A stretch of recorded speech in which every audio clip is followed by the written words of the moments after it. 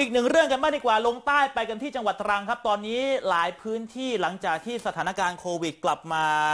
เป็นที่รู้สึกว่าสบายใจของทุกฝ่ายค่ะมันก็ทำให้หลาย ๆ คนเนี่ยออกมาใช้ชีวิตตามปกติ รวมทั้งบรรดา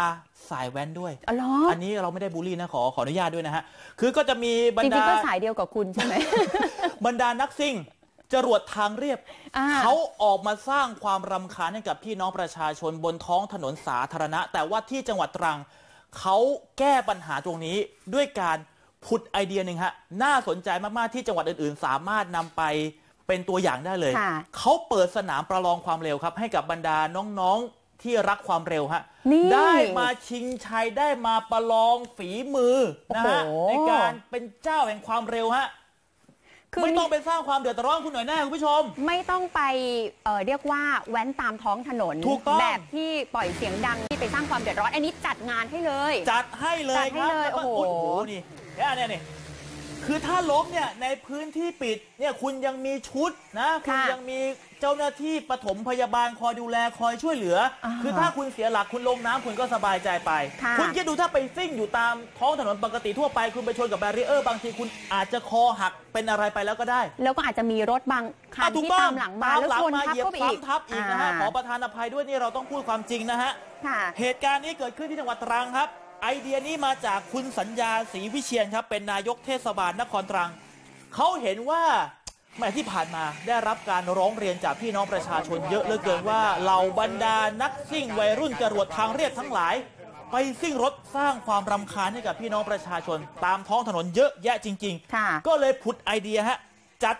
จัดการแข่งขันมันซะเลยอืมการแข่งขันชื่อว่าจักรยานยนต์ทางเรียบการกุศลค่ะกระพังรถเรซซิ่งหือ65 จัดขึ้นในช่วงเสาร์อาทิตย์นี้ฮะ 2 3 กรกเอาฎาวันคนี้มก็ยังมีสิ ถูกต้องครับค่ะจัดขึ้นที่สวนสาธารณะสะกระพังสุรินทร์ฮะ ก็มีบรรดาเหล่านักซิ่งผู้ที่รักความเร็วมาร่วมการแข่งขันเนี่ยกว่า 100 คันกว่าโอ้โหร้อยชีวิต แล้วไม่ได้แข่งเปล่าๆนะฮะค่ะแข่งเนี่ยนอกจากจะอะมีถ้วยรางวัลแล้วว่าใครแข่งอันดับความเร็วดีที่สุดเขายังมีโอกาสได้รับเงินรางวัลรวมกว่า 4 0 0แสนบาทด้วยนะโอ้ฮะโห ไม่ธรรมดานะ ไม่ธรรมดาครับโอ้ก็มีทั้งพี่น้องประชาชนนะฮะ น้อง ๆ วัยรุ่นในพื้นที่จังหวัดตรัง แล้วก็ค่ะจังหวัดใกล้เคียงเนี่ย มาร่วม สมัครแข่งขันกันเยอะแยะมาก ๆ เลยต้องย้อนกลับไปก่อนนะครับว่า ลักษณะการจัดการแข่งขันประลองความเร็วแบบนี้เนี่ยเคยจัดมาแล้วนะอ๋อแต่ว่าย้อนกลับไป 30 ปีที่แล้ว แล้วก็โอ้หายกันไปค่ะแล้วนี่กลับมาสมัครใหม่เอ้ยกลับมาจัดการแข่งขันใหม่อีกครั้งหนึ่งด้วย ใครที่ชนะก็จะได้รับทุนการศึกษาเงินรางวัลกลับไปด้วย แล้วก็ทางผู้จัดก็คือคุณสัญญาเขาบอกว่า คนที่มาแข่งในงานนี้เนี่ย คุณจะได้รับประโยชน์ถึง 3 ต่อด้วยกันยัง3ถามว่า 3 ต่อที่ว่ามีอะไรบ้างต่อแรกแน่นอนค่ะ คุณชนะปั๊บคุณก็จะได้เงินรางวัล คุณอ่าก็จะได้ทุนการศึกษาค่ะต่อที่สองคุณอาจจะได้มีโอกาสไปเป็นตัวแทนนักแข่งในระดับภาคหรือระดับประเทศโอ้ต่อที่ 3 ถ้าคุณต่อยอดมาถึงอันดับที่ 2 คุณอาจจะไปอันดับที่ 3 ก็คือคุณสามารถสร้างชื่อเสียงให้กับตัวเอง ครอบครัวแล้วก็ สร้างชื่อเสียงในระดับประเทศได้ด้วยอืมโอ้แล้วการแข่งขันเนี่ยในช่วงเสาร์อาทิตย์นี้เนี่ยแข่งขันกันถึง 14 รุ่นด้วยกันค่ะโอ้โหสิบสี่รุ่นเลยเหรอคะ14 รุ่นฮะคุณคิดดู โอ้โหเนี่ยเรียกว่าตอบโจทย์กันทุกเพศทุกวัยทุกรุ่นทุกกลุ่มกันจริง ๆ แต่ดูคนดูเขาก็ให้ความสนใจนะอ้าวเนาะชาวบ้านแน่นอนก็มารอดูกันเยอะเลย คือนอกจากนักแข่งที่มากันมืดฟ้ามัวดินแล้วเนี่ยก็จะมีบรรดาคนเนี่ยให้ความสนใจกันเยอะแยะมากนะฮะค่ะ มาชมเนี่ยโอ้โหแน่นขนาดสวนสาธารณะคุณหน่อยแน่ ค่ะ แล้วมาชมไม่ได้ชมเปล่านะครับทำไมคะคุณจะต้องเสียตังค์เข้ามาชมนะครับ อ๋อมีค่าเข้ามาชมนะฮะเออ เหมือนเราดูที่เวิร์กลางปีเลย อย่างนั้นเลย มาที่สวนสาธารณะที่จังหวัดตรังเท่าไหร่มาดูคะการแข่งขันเท่าไหร่คะ คนละ 100 บาท โอ้หนึ่งร้อยแล้วบาท100 บาทที่ว่าไม่ได้เอาไปเข้าชมเปคือล่าเฉๆนะยๆ ใช่คือเขาเอาเงินส่วนนี้เนี่ย ไปเป็นทุนการศึกษาให้กับโอ้โหนักเรียนที่เรียนดี แต่ว่ายากจนอยู่ด้วย อันนี้ได้บุญด้วยนะ เรียกว่าได้ดูมาคชวามมสคนุวากมเร็วอะค่ะได้บุญกุศลกลับไปด้วยอืมอะเดี๋ยวไปฟังไอเดียของคนที่เขาเป็นผู้ริเริ่มการจัดงานครั้งนี้กันหน่อยนะฮะค่ะ ผมก็คือว่าต้องการที่จะรื้อฟื้นการแข่งขันกับฟังรถเดซซิ่งเนี่ยขึ้นมาใหม่นะครับ หลังจากที่หยุดไปประมาณ 30 กว่าปีนะครับซึ่งสนามของกระพังสุรินก็เป็นที่รู้จักของนักแข่งทั่วประเทศอยู่แล้วนะครับ ฉะนั้นในการรื้อฟื้นครั้งนี้เพื่อจะหนึ่งเสริมสร้าง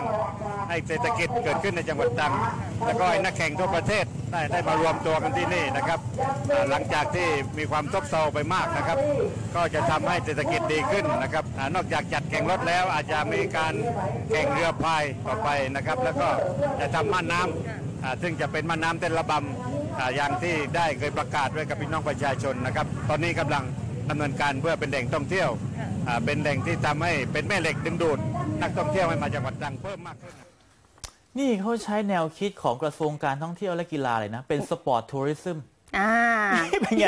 ไม่ธรรมดานะฮะคือเข้าคอนเซปต์เข้าคอนเซปต์คือนายกเทศมนตรีบอกว่านอกจากรถแล้วเนี่ยในอนาคตจะทำเป็นเรือแข่งด้วยค่ะเออไม่ธรรมดานะฮะไปสอบถามคนจัดแล้วเราลองไปถามคนแข่งกันหน่อยดีกว่าค่ะคนที่เข้ามาร่วมกิจกรรมเขาว่ายังไง ไปถามคุณพี่โกเจค่ะโกเจเนี่ยอายุ 24 ปีเท่านั้นเป็นผู้ร่วมแข่งขันบอกว่า ตัวเองเนี่ยรักความเร็วมากอืมโอ้โห รักความเร็วตั้งแต่สมัยเด็กๆเลย เคยแข่งรถแบบนี้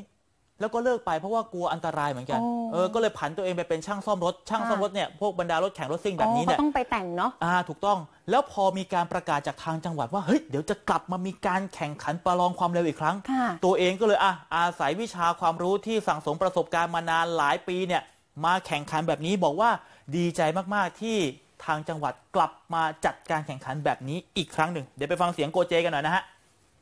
ก็เป็นเด็กร้านช่างวันนี้นะครับแต่ก็ชอบชอบในการแข่งขันรถก็ไปดูตั้งแต่ไปเป็นเยาวชนอยู่อายุ 13 14 ปี แล้วก็หยุดไปประมาณ 10 ปี 11 ปี แล้วก็เนี่ยกลับมาสนามแรกครับกับทั้งช่างทั้งคนขับก็กลับมากันสนามแรกมาเตรียมความพร้อมมาดูก่อนเดี๋ยวสนามต่อไปค่อยว่ากันสนาม โกเจโอ้โหบอกว่ารักความเร็วตั้งแต่อายุ 13 14ปค่ะระทานโทษด้วยความเคารพ น้องยังมีความคิดสติปัญญาที่คิดได้ค่ะอถ้าแข่งต่อนะ แข่งตามท้องถนนต่อนะค่ะเราไม่แน่ใจว่า โอ้โห จะมีสภาพเป็นยังไง โอ้โหโอ้นี่นี่ก็คือถือว่าไปสั่งสมประสบการณ์นะ แล้วก็เนี่ยกลับมาแข่งขันในเวทีที่มันถูกต้องอยู่ภายใต้การดูแลของภาครัฐเนี่ยก็ถือว่าสบายใจกันไปนะคุณหนึ่งเนาะอ่าคุณและหนึ่งที่เนี่ย